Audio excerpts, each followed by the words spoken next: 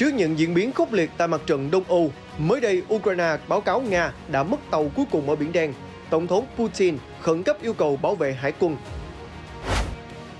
Cũng tại vũ đài Biển Đen, Nga tố UAV Mỹ khiêu khích hỗ trợ Ukraine tấn công mục tiêu của Moscow, tuyên bố sẽ đáp trả.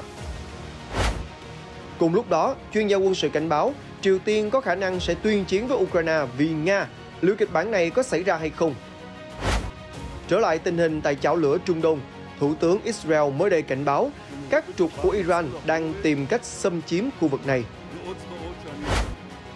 Liên quan đến cuộc tranh luận Tổng thống Mỹ đầu tiên trong năm 2024, hai ứng viên là ông Biden và ông Trump đã tố nhau kích động ông Putin. Sau màn tranh luận của ông Biden, các báo cáo của Politico cho biết một số đảng viên Dân Chủ đang muốn loại đương kim Tổng thống. Vì sao? Các diễn biến an ninh đáng chú ý khác trên toàn cầu Mỹ, Nga đối đầu tại Hội đồng Bảo an Liên Hiệp Quốc về vũ khí Triều Tiên. Trung Quốc yêu cầu Mỹ ngừng dung thứ cho các hoạt động của Philippines ở Biển Đen. Anh ghi nhận ca tử vong đầu tiên trong đợt bùng phát khuẩn E. coli. Tất cả sẽ có trong chương trình Thế giới hôm nay ngay sau đây.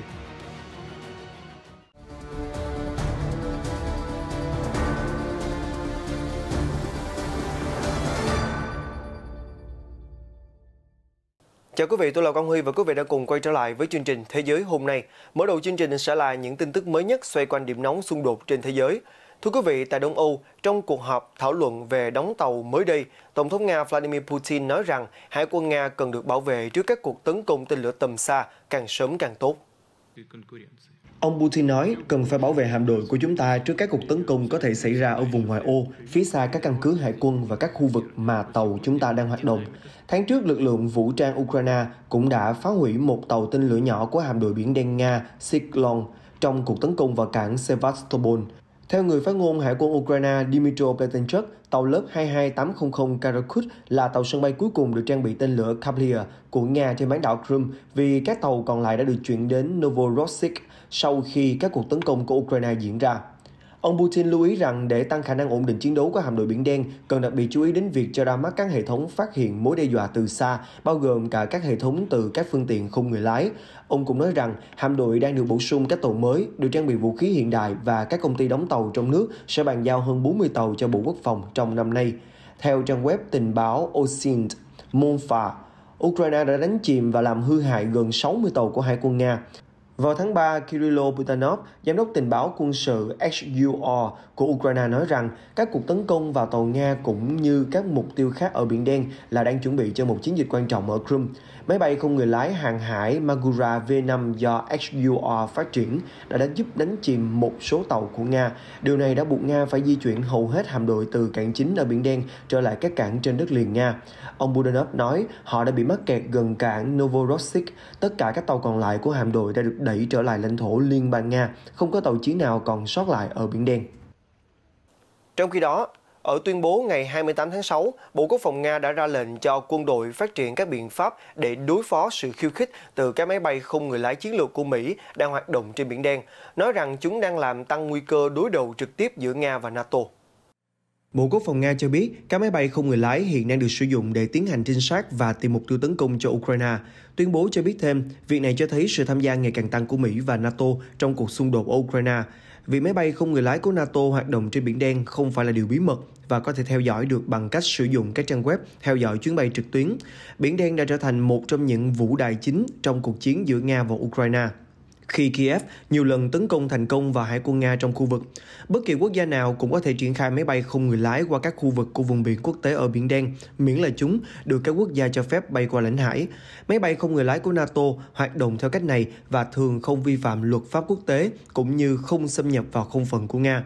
Trong khi đó, Nga tuyên bố rằng các chuyến bay này đã làm gia tăng đáng kể khả năng xảy ra sự cố trên không phận với máy bay lực lượng hàng không vũ trụ Nga, làm tăng nguy cơ đối đầu trực tiếp giữa NATO và Nga, khẳng định thêm rằng các nước NATO sẽ chịu trách nhiệm về việc này.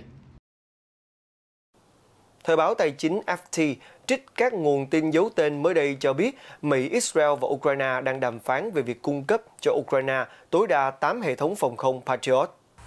Theo FT, các bộ trưởng và quan chức cấp cao của ba quốc gia đã tiến hành thảo luận về thỏa thuận này. Các hệ thống Patriot có thể được gửi từ Israel đến Mỹ và sau đó đến Ukraine. Kiev đã kêu gọi các đối tác của mình cung cấp thêm hệ thống phòng không khi Nga tăng cường các cuộc tấn công nhắm vào các trung tâm dân cư và cơ sở hạ tầng của Ukraine.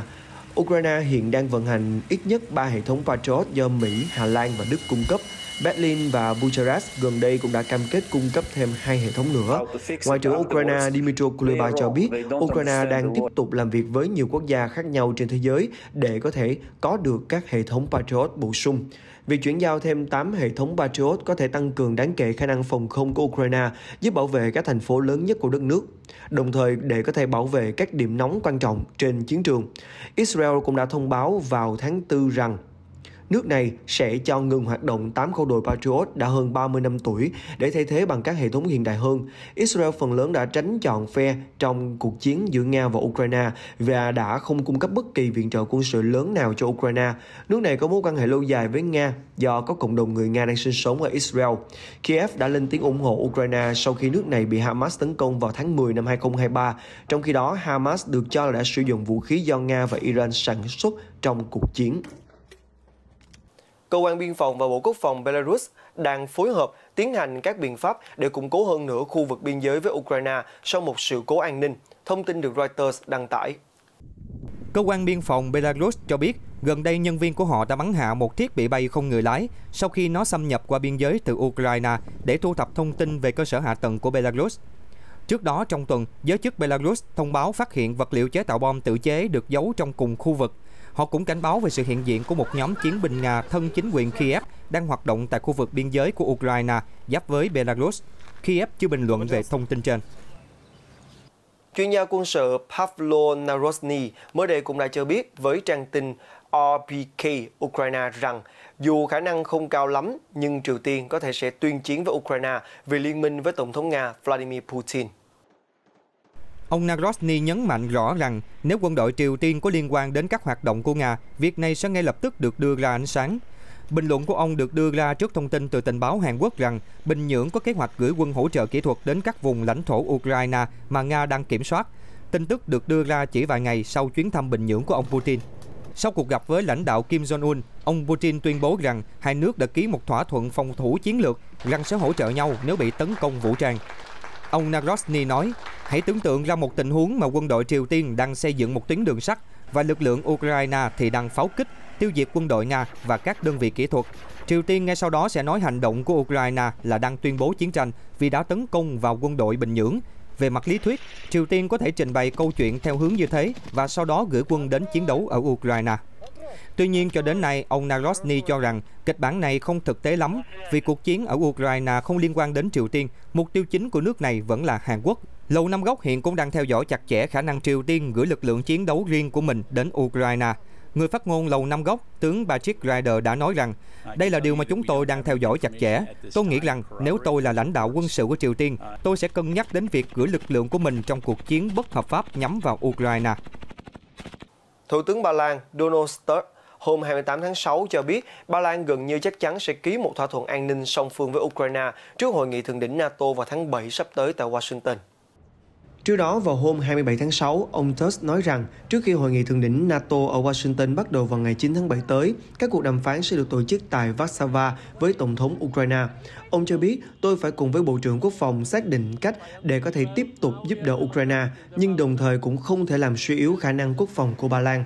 Có 99% khả năng chúng tôi sẽ ký thỏa thuận này với Tổng thống Zelensky trước hội nghị thượng đỉnh. Ông Tusk nói rằng thỏa thuận trên thực tế đã hoàn thành và chỉ cần làm rõ một vài chi tiết cũng như từ ngữ. Liên minh châu Âu và hai trong số các thành viên là Litva và Estonia đã ký các thỏa thuận an ninh với Tổng thống Ukraine Volodymyr Zelensky tại một hội nghị thượng đỉnh ở Brussels vào hôm 27 tháng 6.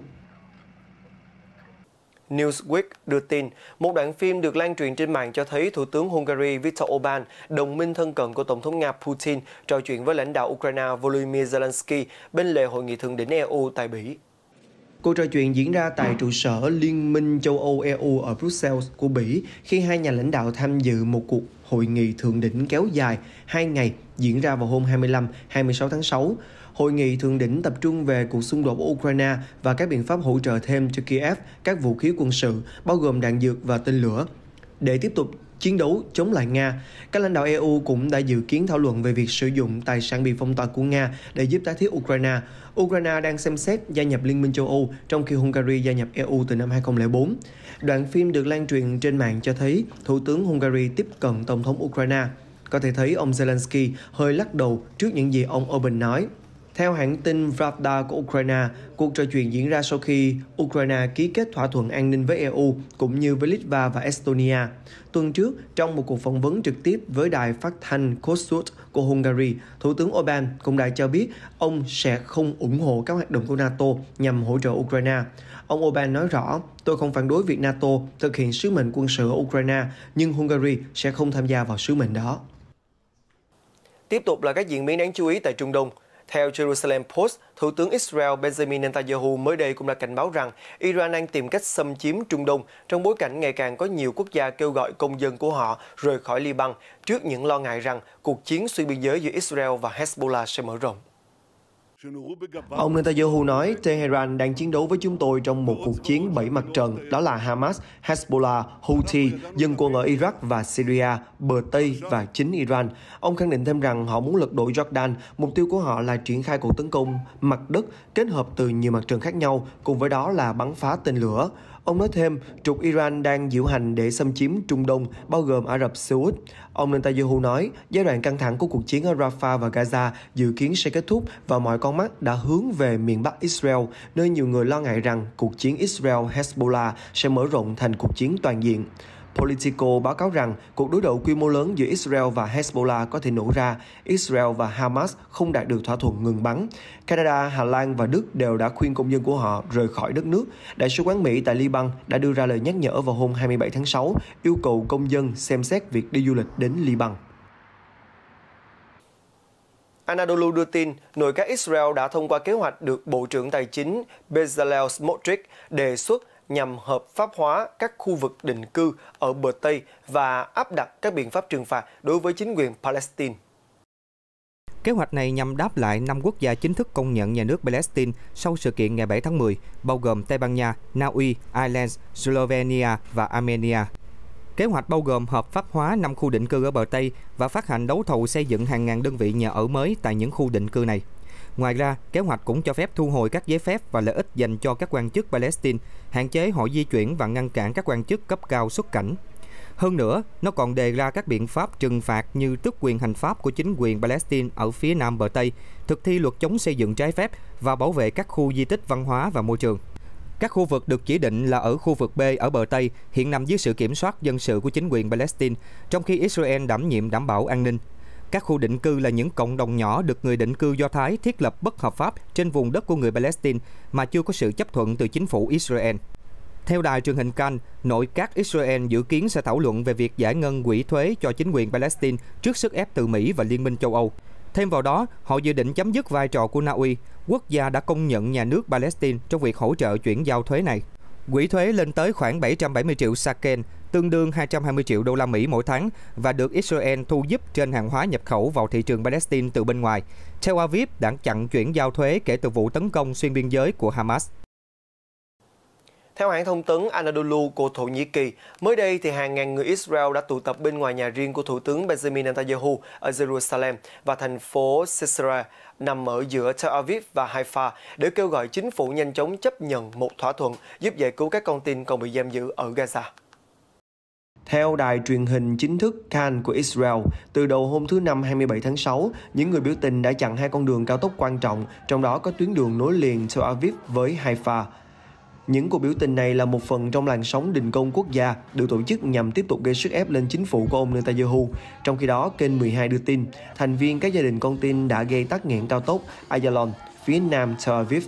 Đài truyền hình dẫn lời của người thân các con tin cho biết Thủ tướng đã bỏ rơi thân nhân chúng tôi và họ có thể phải bỏ mạng ở Gaza chừng nào ông ấy vẫn còn giữ được ghế của mình.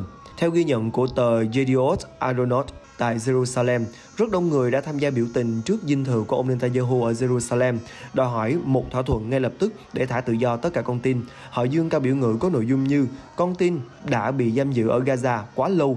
Hàng ngàn người khác cũng đã tổ chức biểu tình bên ngoài nhà của ông Netanyahu ở Caesarea với biểu ngữ lớn bao nhiêu máu sẽ phải đổ nữa trước khi ông ra đi. Đám đông yêu cầu Thủ tướng và chính phủ của ông từ chức hoặc tổ chức bầu cử sớm. Làn sóng biểu tình chống chính phủ và kêu gọi giải cứu con tin đã leo thang ở Israel trong những ngày gần đây. Mặt khác, giới chức Israel cũng đang đối mặt với sự lên án ngày càng lớn từ cộng đồng quốc tế vì tiếp tục tiến hành chiến dịch quân sự gây ra sự tàn phá khủng khiếp và thảm họa nhân đạo tàn khốc ở Gaza. Thưa quý vị, liên quan đến cuộc tranh luận Tổng thống Mỹ đầu tiên của năm 2024, Tổng thống Joe Biden và đối thủ của ông, cựu Tổng thống Donald Trump, đã cáo buộc nhau khuyến khích Nga trong xung đột với Ukraine. Tại cuộc tranh luận do CNN tổ chức vừa qua, hai ứng viên của đảng Dân Chủ và Cộng Hòa cho cuộc đua vào Nhà Trắng năm nay cũng đã công kích thành tích đối ngoại của đối phương. Ông Trump lập luận rằng ông Biden đã làm tổn hại danh tiếng của Mỹ trên trường quốc tế và đó là một trong những yếu tố thúc đẩy ông Tổng thống Nga Vladimir Putin phát động chiến dịch quân sự đặc biệt ở Ukraine vào tháng 2, 2022. Nếu chúng ta có một tổng thống được ông Putin tôn trọng, ông ấy sẽ không bao giờ làm như vậy. Ông Trump nói và nhấn mạnh rằng ông Biden đã không làm gì để ngăn chặn điều đó. Tôi nghĩ rằng ông ấy đã khuyến khích Nga hành động như vậy. Cựu tổng thống cho rằng ông Putin nhận thấy rõ sự bất tài của Mỹ sau khi quyết định rút lui khỏi Afghanistan vào năm 2021. Ông Trump mô tả đây là một khoảnh khắc đáng xấu hổ nhất trong lịch sử đất nước và khi nó diễn ra, ông Putin nói rằng đã đến lúc chúng ta tiến vào Ukraine. Đến lượt mình phát biểu, ông Biden khẳng định điều tương tự rằng chính ông Trump là người khuyến khích ông Putin. Ông ấy đã nói với ông Putin rằng hãy làm bất cứ điều gì mà ông muốn. Đó chính xác là những gì mà ông Trump đã làm. Cựu tổng thống lập tức xen vào. Tôi chưa bao giờ nói như thế. Trả lời câu hỏi từ người dẫn chương trình Dana Bass của CNN về các đề xuất hòa bình do ông Putin đưa ra, ông Trump thẳng thừng nói chúng sẽ không bao giờ được chấp nhận. Sau đó, ông một lần nữa tuyên bố sẽ giải quyết cuộc chiến nếu tái đắc cử. Phía ngược lại, ông chủ Nhà Trắng nhấn mạnh Mỹ phải tiếp tục giúp đỡ Ukraine và lưu ý về khả năng Nga sẽ tấn công một quốc gia thành viên NATO trong tương lai. Nếu ông Putin đạt được mục tiêu ở Ukraine, bạn nghĩ điều gì sẽ xảy ra với Ba Lan? Ông Biden đã có hỏi cho khán giả đang xem qua sóng truyền hình. Tôi chưa bao giờ nghe thấy điều điều ngớ ngẩn như vậy. Đó là một người đang nung nối định rời khỏi NATO. Đương kim tổng thống nói về đối thủ của mình. Tổng thống Nga Putin chưa đưa ra phản hồi về màn tranh luận của hai ứng cử viên tổng thống Mỹ. Gần đây, ông chủ điện Kremlin nhiều lần khẳng định Nga không có kế hoạch tấn công các quốc gia NATO, mô tả những phỏng đoán như vậy là ngu ngốc. Trong cuộc tranh luận hôm 27 tháng 6, cựu Tổng thống Donald Trump cảnh báo người kế nhiệm Joe Biden có thể bị truy tố hình sự trong tương lai nếu ông rời Nhà Trắng. Hôm 27 tháng 6, cuộc tranh luận tổng thống đầu tiên giữa đương kim tổng thống Joe Biden, đảng Dân Chủ, và ứng viên tổng thống đảng Cộng hòa Donald Trump diễn ra trong sự chờ đợi của cả công chúng Mỹ lẫn giới quan sát. Sự kiện này được tổ chức tại trường quay của đài CNN ở thành phố Atlanta thuộc bang Georgia, nhưng không có khán giả theo dõi trực tiếp. Ông Donald Trump đã được hỏi về những tuyên bố trước đây của mình rằng nếu ông được trở lại Nhà Trắng, ông có thể bắt đầu truy tố đối thủ Joe Biden. Đầu tiên, ông Trump nhắc đến việc con trai Tổng thống Biden, ông Hunter Biden, vừa bị tuyên án có tội sở hữu súng trái phép khi đang nghiện ngập. Con trai ông ấy là một tội phạm bị kết án ở mức độ rất cao. Hunter Biden đã bị kết án và có thể sẽ bị kết án nhiều lần khác, ông Trump nói. Sau đó ông chuyển sang Biden. Còn đối với ông Joe Biden, ông ấy có thể bị kết án ngay sau khi mãn nhiệm. Anh ấy đã làm nhiều điều khủng khiếp trong cuộc tranh luận nảy lửa kéo dài 90 phút, ông Trump lên án hàng loạt chính sách của chính quyền Biden liên quan đến vấn đề kinh tế, nhập cư cũng như về việc hỗ trợ Ukraine và rút quân Mỹ khỏi Afghanistan. Ông Biden bảo vệ những thành tựu trong nhiệm kỳ tổng thống của mình, quay ngược lại chỉ trích người tiền nhiệm đã đẩy đất nước rơi vào tình cảnh hỗn loạn. Ông Biden cũng chỉ ra những vấn đề pháp lý gần đây của ông Trump. Chỉ có một người trong chúng ta là tội phạm bị kết án, ông Biden nói ám chỉ đến phán quyết của Bồi thẩm đoàn trong tháng này kết tội ông Trump làm giả hồ sơ kinh doanh trong chiến dịch tranh cử tổng thống năm 2016. Ngoài ra, ông Trump hiện đang bị điều tra về các tội danh khác. Vào tháng 1, ông đã thua một vụ kiện dân sự với nhà báo chuyên mục Eugene Caron, người đã cáo buộc cựu tổng thống tấn công tình dục bà vào những năm 1990. Ông Trump đã phủ nhận mọi hành vi sai trái và khẳng định rằng các vụ kiện chống lại ông đều là một phần của cuộc săn phù thủy có động cơ chính trị.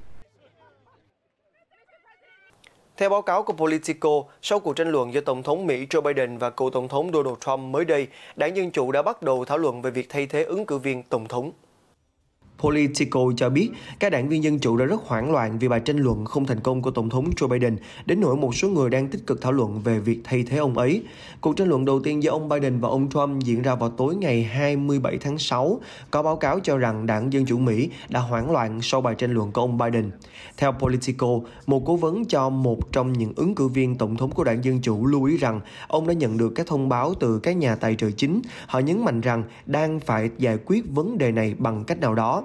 Một nhà tài trợ giấu tên cũng đã gọi bài phát biểu của ông Biden là tồi tệ nhất trong lịch sử và khẳng định rằng tồi tệ đến mức không ai chú ý đến những lời nói dối của ông Trump. Nhà tài trợ này khẳng định ông Biden cần phải bị loại. Vào tháng 8 năm nay, đảng Dân Chủ sẽ tổ chức một đại hội. Tại đó, ông Biden sẽ được đề cử làm ứng cử viên tổng thống. Về mặt lý thuyết, Hiệp hội Chính trị có thể thay đổi hướng đi và đề xuất một người khác. Nhà báo Mỹ Seymour Hersh nói rằng ông Biden có thể bị thay thế trong cuộc đua bầu cử nếu ông thua cuộc tranh luận đầu tiên trước ông Trump. New York Times đưa tin nhiều chuyên gia kinh tế lo ngại về nguy cơ của Tổng thống Mỹ Donald Trump sẽ phát động một cuộc chiến thương mại mới nếu như ông tái đắc cử nhiệm kỳ thứ hai. Trong nhiệm kỳ đầu tiên, chính quyền ông Trump đã triển khai các chính sách tăng thuế lớn nhất của Mỹ kể từ cuộc đại suy thoái nhằm vào Trung Quốc, Canada, Liên minh châu Âu EU, Mexico, Ấn Độ và nhiều nền kinh tế khác. Các quốc gia sau đó đáp trả bằng cách áp thuế lên đậu nành, rượu, nước cam và xe máy của Mỹ. Hậu quả là xuất khẩu nông sản của Mỹ giảm mạnh, khiến chính quyền phải chi 23 tỷ đô la Mỹ để giúp nông dân bù lỗ. Trong chiến dịch vận động tranh cử lần này, ông Trump hứa hẹn sẽ đẩy mạnh cuộc chiến thương mại với quy mô lớn hơn nhiều. Ông Trump nhiều lần nói về kế hoạch đánh thuế 10% đối với hầu hết hàng nhập khẩu và đánh thuế 60% trở lên đối với hàng hóa từ Trung Quốc. Theo ông, thuế quan sẽ thúc đẩy các nhà máy ở Mỹ thu hẹp khoảng cách giữa nhập khẩu và xuất khẩu và tăng cơ hội việc làm cho người dân Mỹ. Ông Trump tin rằng thuế nhập khẩu sẽ phục hồi ngành sản xuất của Mỹ, giảm sự phụ thuộc vào hàng hóa nước ngoài và tạo lợi thế cạnh tranh cho các công ty trong nước so với các sản phẩm từ Trung Quốc hay những nơi khác. Theo các nhà kinh tế, việc áp thuế quan sẽ giúp giảm lượng nhập khẩu và khuyến khích sản xuất tại các nhà máy của Hoa Kỳ, nhưng điều đó đi kèm với một cái giá rất cao. Đầu tiên, các quốc gia có thể quyết định đáp trả bằng cách áp thuế quan lên các sản phẩm từ Hoa Kỳ, khiến xuất khẩu giảm mạnh. Ví dụ điển hình là xuất khẩu rượu của Mỹ sang châu Âu đã giảm 20%, ngay sau khi EU áp đặt thuế 25% đối với rượu whisky. Đây được xem là đòn đáp trả của liên minh sau khi chính quyền Trump áp đặt thuế quan lên ngành thép và nhôm. Đồng thời, thuế quan đồng nghĩa với người tiêu dùng sẽ phải trả mức giá cao hơn. Ông Trump hiện đang đề xuất mức thuế nhập khẩu gấp 10 lần so với nhiệm kỳ đầu tiên của mình. Các chuyên gia kinh tế lo ngại rằng kế hoạch của ông Trump có thể gây ra một cuộc chiến thương mại đẩy giá cả vốn đã cao tăng hơn nữa và khiến Mỹ rơi vào suy thoái. Trong một lá thư gần đây, 16 nhà kinh tế đoạt giải Nobel bày tỏ rằng họ rất quan ngại về những rủi ro mà chính quyền Trump có thể gây ra cho nền kinh tế và pháp quyền. Ông David Vance, Phó Chủ tịch điều hành quan hệ chính phủ tại Liên đoàn Bán lẻ Quốc gia nhận định, Chúng tôi cần một chính sách thương mại chứ không phải nhiều thuế quan hơn. Tất cả những gì mà ông Trump đã làm là gây trở ngại cho chuỗi cung ứng, khiến người tiêu dùng thiệt hại 220 triệu đô la Mỹ. Ông Trump coi thương mại như một trò chơi, trong khi đó nếu bạn thắng thì tôi thua và ngược lại, nhưng đó không phải là cách mà nền thương mại hoạt động. Điện Kremlin cho biết Tổng thống Vladimir Putin đã không thức dậy vào nửa đêm để theo dõi cuộc tranh luận Tổng thống Mỹ giữa Donald Trump và Joe Biden và Nga sẽ không bình luận về chính trị nội bộ của Hoa Kỳ. Người phát ngôn của Điện Kremlin Dmitry Peskov nói rằng Tổng thống Nga có nhiều điều quan trọng hơn cần tập trung vào. Bạn thực sự nghĩ ông Putin sẽ đặt đồng hồ báo thức, thức dậy lúc tờ mờ sáng để xem cuộc tranh luận ở Mỹ ư? Ông Peskov nói với các phóng viên khi được hỏi liệu Putin có theo dõi hay không. Ông nói tiếp, Tổng thống Nga có nhiều vấn đề hệ trọng khác cần phải giải quyết liên quan đến vận mệnh của đất nước. Các cuộc tranh luận ở Hoa Kỳ không phải là một phần của các vấn đề chính trong chương trình nghị sự. Trong cuộc phỏng vấn hồi tháng 2, vị nguyên thủ Nga cho biết ông sẵn sàng làm việc với bất kỳ tổng thống Mỹ nào, nhưng ông thích tổng thống Biden hơn vì ông ấy là một chính trị gia theo trường phái cũ nên dễ đoán hơn. Ông Putin đầu tháng này nói rằng Nga không quan tâm đến cuộc bầu cử tổng thống Mỹ vào tháng 11 vì nhiều khả năng các chính sách của Washington đối với Moscow sẽ không thay đổi bất kể ai thắng cử. Phó đại sứ Mỹ tại Liên Hiệp Quốc Robert Wood mới đây cũng đã cho biết Mỹ sẽ tranh luận với Nga tại Hội đồng Bảo an Liên Hiệp Quốc về việc Triều Tiên vi phạm lệnh cấm vận vũ khí, đồng thời yêu cầu Trung Quốc đưa ra quan điểm về mối quan hệ ngày càng tăng giữa Moscow và Bình Nhưỡng. Thông tin được Reuters đăng tải mới đây. Cuộc họp của Hội đồng 15 thành viên diễn ra sau khi Tổng thống Nga Vladimir Putin đến Bình Nhưỡng vào tuần trước để ký một hiệp ước với nhà lãnh đạo Triều Tiên Kim Jong-un. Cả hai đồng ý cung cấp hỗ trợ quân sự nếu một trong hai phải đối mặt với việc bị tấn công vũ trang. Trước cuộc họp, ông Wood nói điều này nên là mối quan tâm lớn đối với toàn cầu. Ông cáo buộc Nga đứng về phía một quốc gia bất hảo vi phạm vô số các nghị quyết của Hội đồng Bảo an Liên Hiệp Quốc.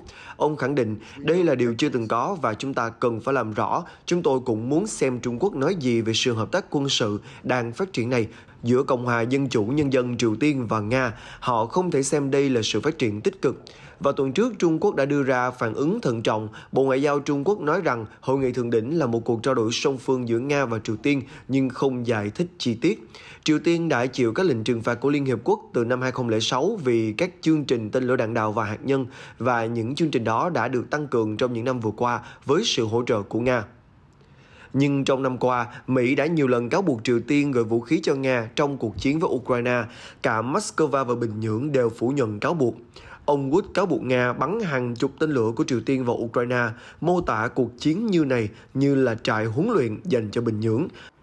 Các công tố viên nhà nước Ukraine cho biết vào tháng 5 rằng họ đã kiểm tra các mảnh vỡ từ 21 trong số 50 tên lửa của Triều Tiên do Nga phóng từ tháng 12 năm ngoái đến tháng 2 năm nay. Trong vài năm vừa qua, Hội đồng Bảo an Liên Hiệp Quốc đã bị chia rẽ trong cách đối phó với Triều Tiên. Nga và Trung Quốc nói rằng các biện pháp trừng phạt ngày càng tăng của phương Tây sẽ không giúp ích gì và yêu cầu nới lỏng. Theo thông tin từ Reuters, Trung Quốc vào hôm 28 tháng 6 đã thúc giục Mỹ ngừng dung thứ Philippines sau khi Thứ trưởng Ngoại giao Mỹ Kurt Campbell bày tỏ lo ngại về các động thái của Bắc Kinh ở Biển Đông. Trung Quốc và Philippines gần đây đã tố nhau hành động bất hợp pháp tại khu vực quanh bãi có mây. Người phát ngôn Bộ Ngoại giao Trung Quốc bà Mao Ninh cho biết Mỹ nên ngừng dung thứ cũng như ủng hộ các hành động khiêu khích của Philippines, cần thực hiện các hành động thiết thực để bảo vệ hòa bình và ổn định ở Biển Đông. Philippines đã gửi các đội tiếp tế cho binh lính đang sống trên một tàu chiến reset mà Manila đã đeo đầu vào năm 1999 tại bãi này để củng cố tuyên bố chủ quyền của mình. Tại cuộc họp báo thường kỳ mới đây, bà Mao nói thêm rằng Philippines đã quay lưng lại với sự đồng thuận của Trung Quốc, thách thức chủ quyền và toàn vẹn lãnh thổ của nước này và khăng khăng cung cấp vật liệu xây dựng cho tàu chiến. Vào ngày 17 tháng 6, một thủy thủ Philippines đã bị thương sau cuộc đụng độ với hải cảnh Trung Quốc. Ông Campbell đã đưa ra nhận xét với Thứ trưởng Ngoại giao Trung Quốc Mã Triêu Húc trong cuộc điện đàm vào hôm 27 tháng 6. Trước đó, Cố vấn an ninh quốc gia Mỹ Jack Sullivan và người đồng cấp Philippines Eduardo Ano cũng đã thảo luận về những lo ngại chung về các tác động, động thái của Trung Quốc. Nhà Trắng cho biết Mỹ tái khẳng định cam kết của mình đối với an ninh của Philippines. Trung Quốc tuyên bố chủ quyền gần như toàn bộ Biển Đông, bao gồm các phần mà Brunei, Indonesia, Malaysia, Philippines và Việt Nam tuyên bố chủ quyền. Reuters đưa tin, quân đội Hàn Quốc vào hôm 28 tháng 6 đã công bố một đoạn video cho thấy một tên lửa của Triều Tiên đã xoay nhiều vòng và sau đó phát nổ. Cảnh quay này được Seoul công bố nhằm bác bỏ tuyên bố của Triều Tiên về việc nước này đã thử nghiệm thành công tên lửa. Cảnh quay được quay bởi một thiết bị quan sát nhiệt cho thấy một đường đạn đã vượt khỏi tầm kiểm soát trên đường bay và sau đó tan rã. Quân đội Hàn Quốc đánh giá rằng tên lửa đã bị nổ sau khi gặp rắc rối trong quá trình bay. Họ khẳng định những tuyên bố thành công của Triều Tiên là sự lừa dối và cường điệu để che đậy sự thất bại. Truyền thông nhà nước Triều Tiên nói rằng Bình Nhưỡng đã tiến hành thử nghiệm thành công phát triển tên lửa có thể triển khai nhiều đầu đạn vào hôm 26 tháng 6. Tuyên bố này đã bị Hàn Quốc bác bỏ. Theo hãng thông tấn Trung ương Triều Tiên KCNA, cơ quan quản lý tên lửa của Triều Tiên đã sử dụng động cơ giai đoạn đầu của tên lửa đạn đạo tầm trung nhiên liệu rắn để thử nghiệm tách nhiều đầu đạn. Quân đội Hàn Quốc cho biết họ đã phát hiện các dấu hiệu chuẩn bị phóng tên lửa vào sáng 26 tháng 6 và đã theo dõi quá trình phóng của tên lửa. Theo thông tin từ Reuters, người dân Iran sẽ tiến hành bỏ phiếu bầu tổng thống mới vào hôm 28 tháng 6 sau khi cố tổng thống Ebrahim Raisi thiệt mạng trong vụ tai nạn trực thăng. Iran sẽ chọn ra tổng thống từ bốn ứng cử viên được đề cử hiện nay vào thời điểm công chúng đang ngày càng thất vọng. Mặc dù cuộc bầu cử khó có thể mang lại sự thay đổi lớn trong các chính sách của Iran, nhưng kết quả này có thể ảnh hưởng đến việc kế vị của ông Ayatollah Ali Khamenei, nhà lãnh đạo tối cao 85 tuổi của Iran, đã nắm quyền trong 3 thập kỷ rưỡi. Ông Khamenei đã kêu gọi tỷ lệ cử tri đi bầu tối đa. Tỷ lệ cử tri đi bầu đã giảm mạnh trong 4 năm vừa qua, với phần lớn dân số trẻ bị trao động bởi những hạn chế chính trị và xã hội. Các cuộc thăm dò mở cửa lúc 8 giờ sáng theo giờ địa phương và đóng cửa vào lúc 6 giờ chiều, nhưng thường được kéo dài đến tận nửa đêm. Phiếu bầu sẽ được đếm thủ công, kết quả cuối cùng dự kiến sẽ được công bố chỉ trong 2 ngày. Ba trong số các ứng cử viên hiện nay là những người theo đường lối cứng rắn và một người theo đường lối ôn hòa. Những người chỉ trích sự lãnh đạo của Iran nói rằng tỷ lệ cử tri đi bầu thấp và giảm trong các cuộc bầu cử gần đây cho thấy tính hợp pháp của hệ thống đã bị xói mòn. Chỉ 48% cử tri tham gia cuộc bầu cử đưa ông Raisi lên nắm quyền vào năm 2021 và tỷ lệ cử tri đi bầu đã chạm mức thấp kỷ lục 41% trong cuộc bầu cử quốc hội 3 tháng trước. Cuộc bầu cử hiện nay diễn ra giữa lúc căng thẳng khu vực leo thang do chiến tranh giữa Israel và các đồng minh Iran và Hamas ở Gaza và Hezbollah ở Liban, cũng như việc phương Tây tăng áp lực đối với Iran về chương trình hạt nhân đang phát triển nhanh chóng của nước này. Tổng thống tiếp theo dự kiến sẽ không đưa ra bất kỳ thay đổi lớn nào đối với chương trình hạt nhân của Iran hoặc là việc hỗ trợ cho các nhóm dân quân trên khắp Trung Đông. Tuy nhiên, việc Tổng thống điều hành chính phủ hàng ngày có thể sẽ ảnh hưởng đến giọng điệu trong chính sách đối ngoại và đối nội của Iran. Liên quan đến cuộc đảo chính bất thành ở Bolivia, Tổng thống Bolivia Luis Arce đã phủ nhận mọi sự liên quan hoặc là biết trước về âm mưu đảo chính. Ông Acer hôm 27 tháng 6 nói với các phóng viên trong một cuộc họp báo tại trụ sở chính phủ. Chúng tôi chưa bao giờ được thông báo về ý định của ông ấy. Chúng tôi đã rất ngạc nhiên. Reuters đưa tin, ngày 26 tháng 6, lực lượng vũ trang Bolivia bất ngờ huy động một nhóm quân và xe tăng kiểm soát quảng trường trung tâm Plaza Murillo ở thủ đô La Paz, nơi đặt trụ sở chính phủ. Một phương tiện bọc thép đâm vào cổng phủ tổng thống, mở đường để quân lính tiến vào. Cuộc đảo chính do tướng Julian Zuniga, cựu tổng tư lệnh lực lượng vũ trang Bolivia, bị sa thải hôm 25 tháng 6 dẫn đầu. Theo hãng thông tấn địa phương Fades, ông Zuniga đã nói với cảnh sát rằng Tổng thống Acer cho phép ông huy động xe bọc thép với mục đích kiểm soát tình hình xung đột trong nước ba ngày trước đó. Vào hôm 27 tháng 6, Bộ trưởng Nội vụ Eduardo Del Castillo cho biết Tổng thống Acer đã nhận được báo cáo về những nỗ lực gây bất ổn Cựu Tổng tư lệnh Zuniga đã bị bắt cùng với cựu chỉ huy hải quân Juan Anes Salvador. Theo ông Castillo, cho đến nay đã có 17 người bị giam giữ, nhưng có nhiều người khác đã tham gia. Ngược lại, Tổng thống Acer khẳng định ông Zuniga hành động theo ý mình. Đại sứ Bolivia cho biết khoảng 200 sĩ quan quân đội đã tham gia vào cuộc đảo chính do tướng Zuniga chỉ huy. Cuộc đảo chính bất thành ở Bolivia chỉ diễn ra trong vài giờ, nhưng đã nhanh chóng gây ra làn sóng tranh cãi từ các nhà lãnh đạo thế giới. Những người bày tỏ lo ngại rằng nền dân chủ ở quốc gia này đang gặp nguy hiểm. Tổng thống Acer đã nhanh chóng bổ nhiệm các chỉ huy quân đội mới và tìm cách trấn an công chúng. Ông khẳng định vào tối thứ Năm, ngày 27 tháng 6 rằng mọi thứ đã trở lại bình thường.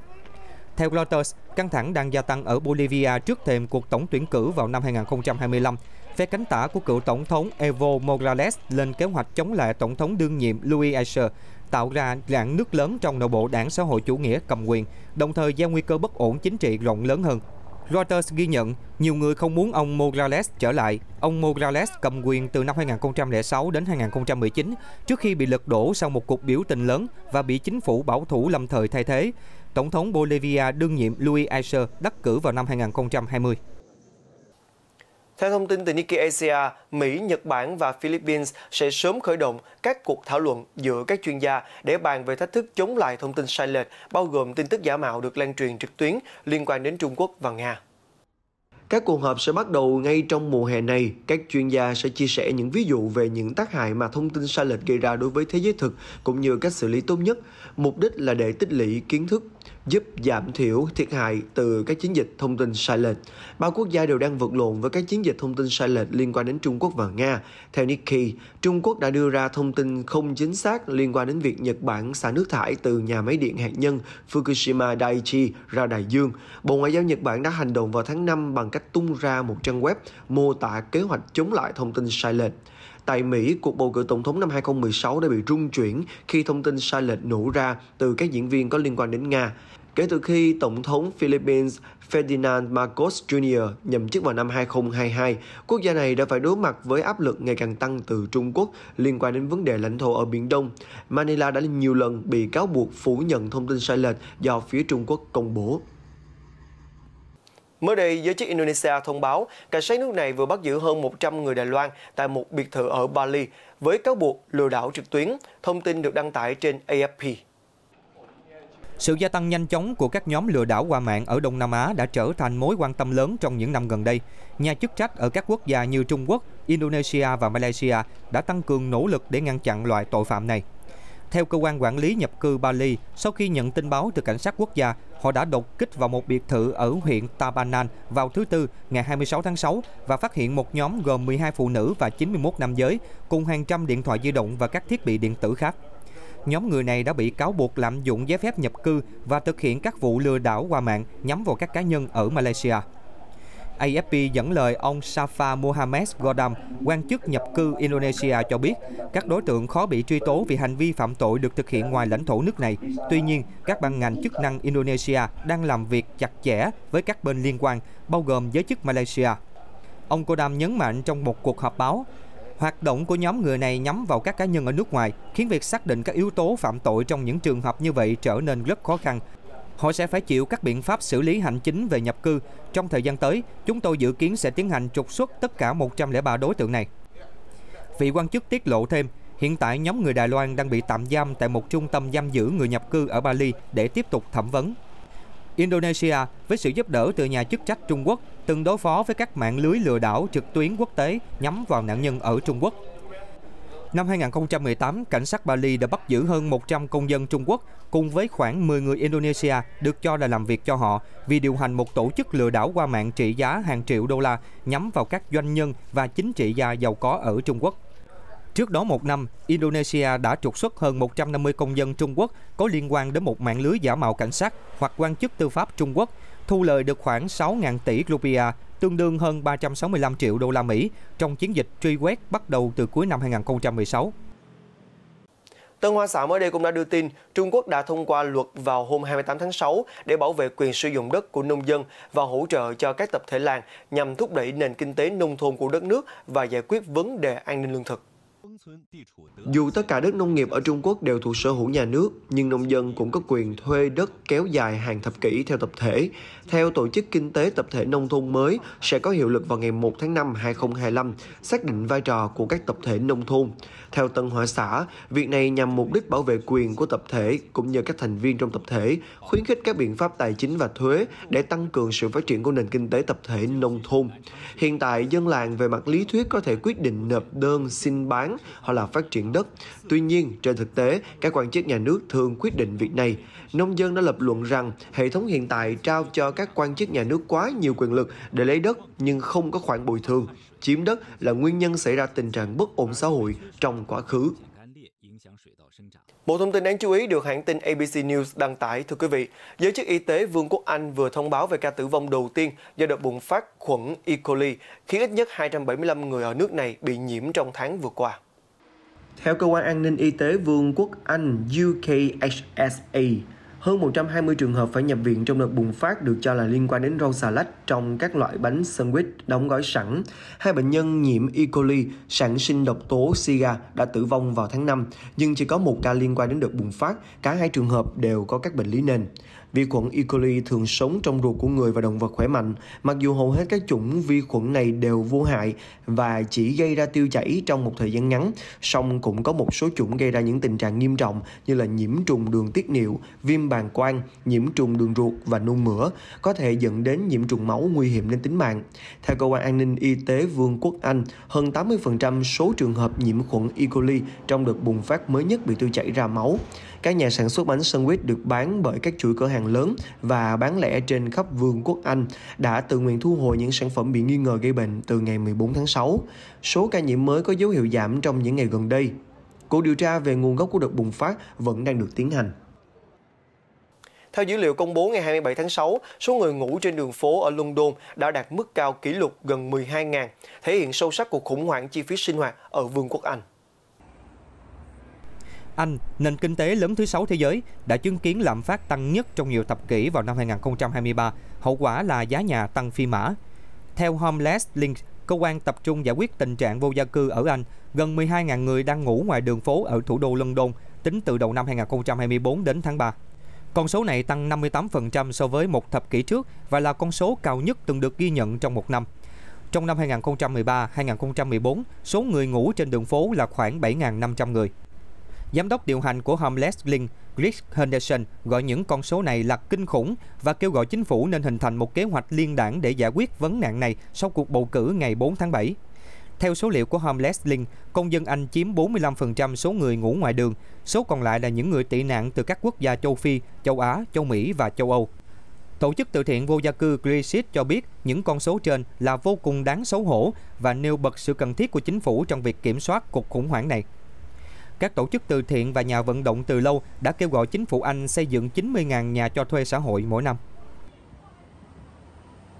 Một hố sụt khổng lồ đã nuốt chửng một phần khu phức hợp các sân bóng đá được xây dựng trên mỏ đá vôi ngầm ở bang Illinois của Mỹ. Hình ảnh về chiếc hố tử thần này đã được Reuters đăng tải mới đây.